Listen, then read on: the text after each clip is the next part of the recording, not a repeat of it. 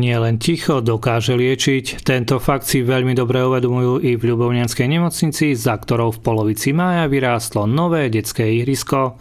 Z hľadiska použitých materiálov, kovu a plastu dokonca prvé v Starej Ľubovni. Myšlienka vybudovať toto ihrisko vznikla asi pred rokom v lete, kedy sme reflektovali, že mnohí navštevníci tejto nemocnice, ktorí prichádzajú buď na vyšetrenie alebo na návštevu za svojimi príbuznými, trávia svoj čas v parku. A mnohí z týchto návštevníkov boli mladé rodiny s deťmi, tak sme sa takýmto spôsobom rozhodli, aby sme ten čas ešte trošku spríjemnili. Prejsť od nápadu k činom pritom netrvalo dlho. Za to obdobie od jesene, teraz do leta sa nám podarilo vyzbierať krásnych 6 tisíc eur, za čo by som chcel aj z tohto miesta veľmi pekne poďakovať všetkým sponzorom a podporovateľom.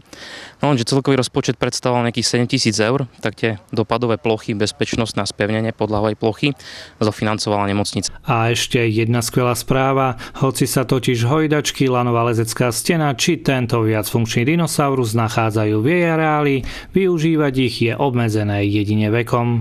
Ihrisko je otvorené v širokej verejnosti takže bez problémov, ktokoľvek si to nájde cestu, môže sa prizabaviť. Kým Dinopark, ako znie neoficiálny názov tohto miesta, už reálny je, ďalšia plocha pre deti má zatiaľ len papierové kontúry. Do 4. júna ich však môžu smotiť obyvatelia mesta. Po pozitívnej skúsenosti spred dvoch rokov, kedy sa obnovilo ihrisko pred Lentilkou, tak sme sa zapojili do obnovy detského ihriska v medzibloku ulici Tatranskej a ulici Okružnej. Pokiaľ tak projekt zeleného ihriska dostane od nakupujúcich v Tesku najviac žetónov, môže z programu Vy rozhodujete mi pomáhame získať samozpráva až 1300 eurový grant.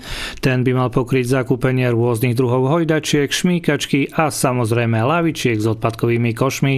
Plánov s ihriskami je však ďaleko viac. Je taktiež požiadavka detského iriska v Pocatku, kde chceme teda taktiež e, nenáročnými prvkami možno e, zlepšiť a skrašiť prostredie. Dve nové veľkorysé detské iriska pribudnú medzi blokoch za Čínskym múrom a teda pred x respektíve za x a pred Maricou. Pochopiteľne okrem výstavby nových ihrisk, ale radnica nezabúda ani na údržbu jestvujúcich.